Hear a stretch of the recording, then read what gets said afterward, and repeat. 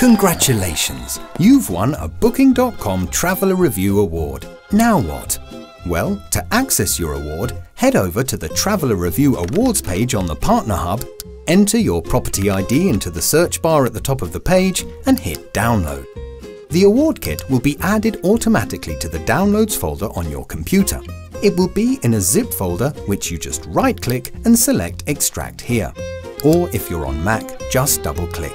Inside, you'll find a selection of assets to help you celebrate your win, including a PDF of your personalised award for you to print out and put on display.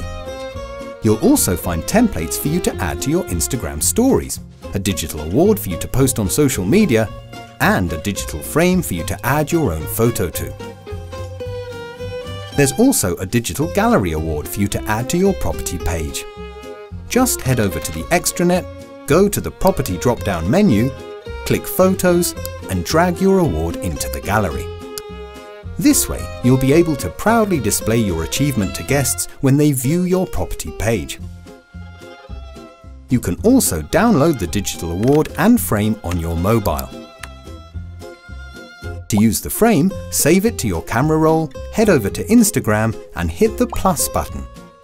Making sure you're on the Story tab, Open your camera roll in the bottom left corner and choose the photo you'd like to use. Next, open the sticker menu and select Add Photo. This time, you can insert the frame.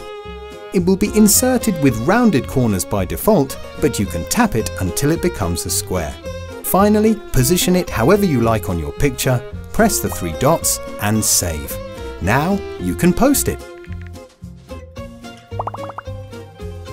You can even display the award on your website. Make sure to link to the Traveller Review Awards page so your guests can find out what the awards mean and why it makes your property special.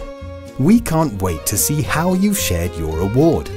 Make sure to tag us and use the Traveller Review Awards hashtag so we can celebrate with you.